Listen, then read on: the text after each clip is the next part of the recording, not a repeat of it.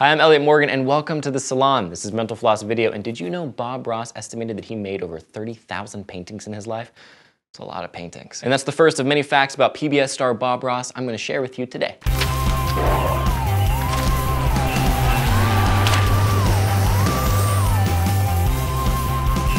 Though he was an expert in a very hands-on field, Bob Ross was actually missing part of his left index finger. When he was young, he cut it in a woodworking accident while working with his father, who was a carpenter. Ross was actually in the U.S. Air Force for a while. He enlisted when he was just 18 years old and eventually became a master sergeant. After he left the Air Force, Ross vowed to never yell again. In an interview with the Orlando Sentinel, he explained, I was the guy who makes you scrub the latrine, the guy who makes you make your bed, the guy who screams at you for being late to work. The job requires you to be a mean, tough person, and I was fed up with it. I promised myself that if I ever got away from it, it wasn't going to be that way anymore. But back to his painting career, he was actually inspired by another painter named Bill Alexander. While he was a bartender, Ross discovered Alexander's PBS painting show. Eventually, Alexander became his mentor. He actually taught Ross the wet on wet oil painting method. The two ended up feuding. Bob Ross often gave his mentor credit, but Bill Alexander got huffy about Ross's success.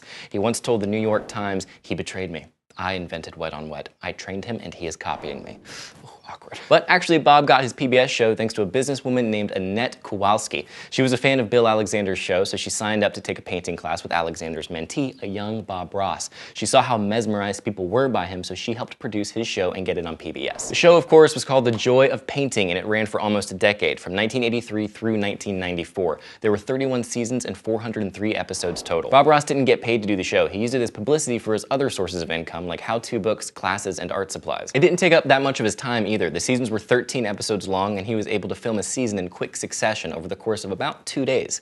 Sounds familiar. He might be best known for the happy little trees that he added to paintings. In 2014, writer Walt Hickey did a statistical analysis of all the paintings in The Joy of Painting. He found that 91% of Ross's paintings contained a tree. The paintings were often inspired by the time that Ross spent living in Alaska. He was stationed there while he was in the Air Force. Annette Kowalski once said that he was pretty much only interested in painting Alaskan scenery. He was also inspired by pictures. One reporter visited Bob Ross's home and noted the postcards and pictures and calendars taking up the floor of the basement. Why did he like painting? According to Bob himself, quote, in painting, you have unlimited power. You have the ability to move mountains, you can bend rivers, but when I get home, the only thing I have power over is the garbage. Bob. One way he exercised that power by removing people from all of his paintings. Annette Kowalski has noted that Ross's paintings very rarely contained humans. He even refrained from putting chimneys on the cabins in his pieces. He did that because chimneys were man-made and represented people. Or maybe it was just a good way to save time. Each episode of the show required Ross to make three practically identical versions of the same painting. The first one was a guy, the second one was on camera, then he'd paint a third one alongside a photographer for his how-to books. But he didn't sell any of his paintings, you guys. Most of Ross's art was donated to PBS stations for fundraising fundraisers. It's a cool move, Ross. Bob. Though a few did get stolen, 13 were taken from Bob Ross's van during the second season of the show. They got sold on the black market, which is mostly made up of Bob Ross paintings. Obviously his show was very popular, but it turns out only around 10% of its audience was actually painting along with Bob Ross and his instructions. Most people just loved listening to him. He knew it too. In 2001, the New York Times interviewed Joan Kowalski, Annette's daughter, who was the media director for Bob Ross Incorporated. She said, it's funny to talk to these people because they think they're the only ones who watch to take a nap. Bob knew about this. People would come up to him and say, I don't want to hurt your feelings, but you've been putting me to sleep for 10 years. He'd love it. People often see Bob Ross as a mysterious figure, but he once said, I never turn down requests for interviews. I'm just rarely asked.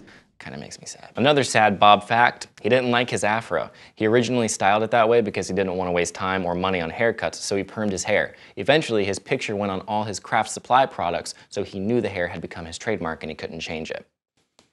Sucks when you get trapped by your brand, you guys. In the early 1990s, he planned to create a children's show called Bob's World, which the New York Times described as a wilderness version of Mr. Rogers' Neighborhood.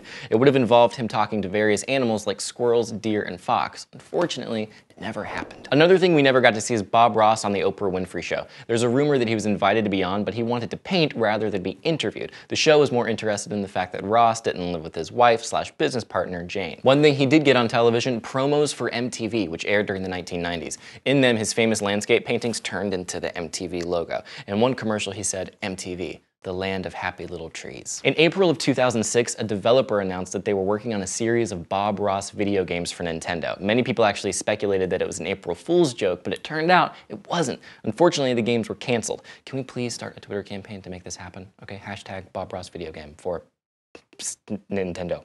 Thank you. The Joy of Painting aired in a bunch of countries, including Japan, where he was extremely popular. He once visited the country and got mobbed by rabid fans of his show. Not everyone was like that, though. His art did inspire some criticism from a few artists. Some of his critics were quoted in the New York Times in 1991. They called his art, quote, terrible, pizzeria art, and formulaic and thoughtless. And critics are harsh, you guys. But that doesn't stop people from becoming certified Bob Ross painting instructors. That's right, about 3,500 people are trained to teach the Bob Ross technique to students around the world. Finally, I returned to the salon to tell you that Bob Ross has a YouTube channel. Yes, I'm telling you this at the end of the video because I know you're all about to click away and fall asleep to Bob's voice.